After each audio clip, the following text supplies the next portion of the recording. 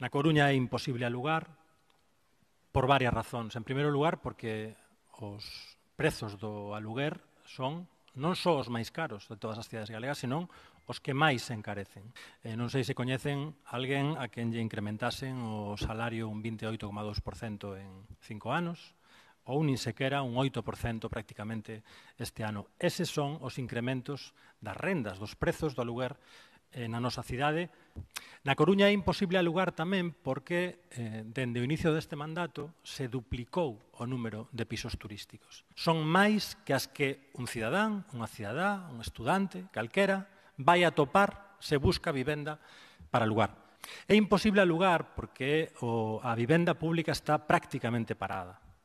Hai dous proxectos únicamente de vivenda pública municipal. Os dous proceden do pasado mandato. Non hai ningún solo eh, proxecto novo.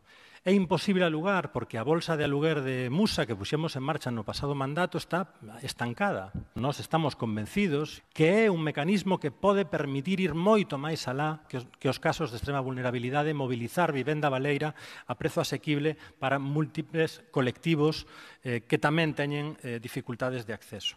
E é imposible alugar tamén porque nesta cidade temos moitísimas vivendas baleiras, hai cidades e comunidades autónomas con cantidades moi inferiores que teñen políticas moito máis eh, ambiciosas. E todo isto acontece nun contexto coa Xunta de Galicia completamente desaparecida, coa oposición parlamentaria no órreo sorprendentemente ausente do debate sobre a vivenda e co goberno do Estado aparcando que é o que eu lín esta mañá na portada dun medio de comunicación que dicía el goberno aparca la lei de vivienda.